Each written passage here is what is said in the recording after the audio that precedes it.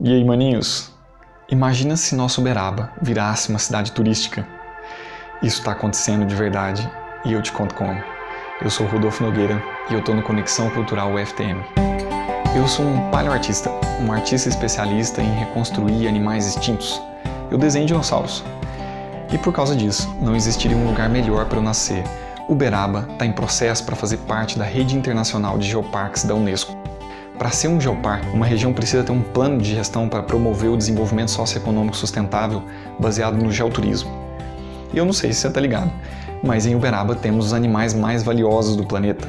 Imagina uma vaca de 6 milhões de reais. Aqui também foi terra do maior brasileiro de todos os tempos, Chico Xavier. E nesse chão que você pisa, também pisou o maior dinossauro já encontrado no Brasil, Uberaba Titã Ribeiroi. Aqui é ou não é terra de gigantes? Quem sacou que Uberaba merece ser um geoparque foi o gigante Dr. Luiz Carlos Borges Ribeiro, diretor do Museu dos Dinossauros por mais de 22 anos. E desde que eu era ainda molecote, ele me convidou para desenhar o que ele imaginava para a cidade.